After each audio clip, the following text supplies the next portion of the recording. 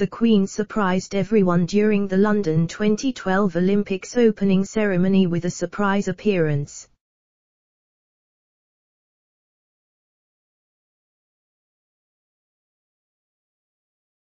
Her Majesty stole the show in a James Bond spoof sketch alongside actor Daniel Craig.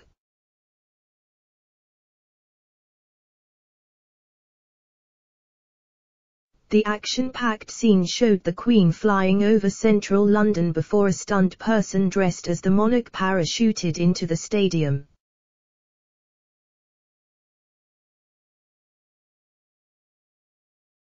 The Queen and Prince Philip then emerged and walked to their seats. Fans roared as the monarch and Duke of Edinburgh made the unexpected cinematic appearance.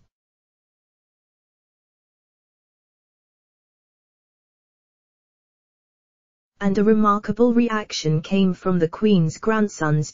Prince William and Prince Harry are said to have shouted Go, Granny!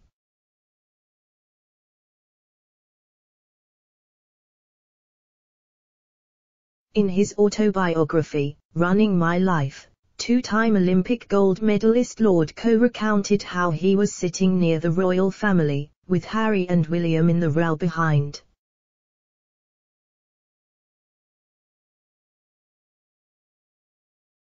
He added that neither prince knew their grandmother would be taking part in a film, but became suspicious when it featured a backdrop of the palace,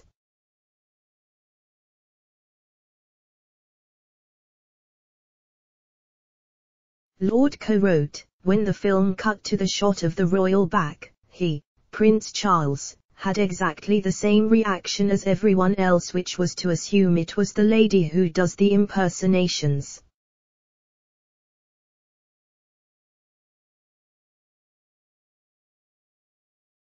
But the moment she turned around and everyone realized, my god, it really is the queen, he began roaring with laughter.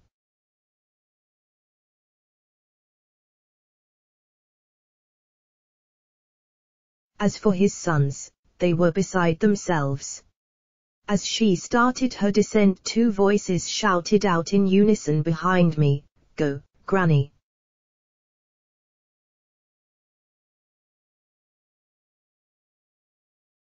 Prime Minister David Cameron is said to have asked the monarch to star in the film during his weekly audience with her at the palace.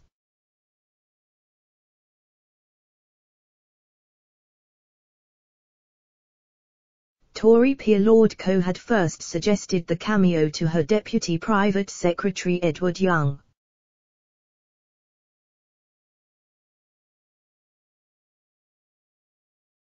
The two met when they worked together for Foreign Secretary William Hague.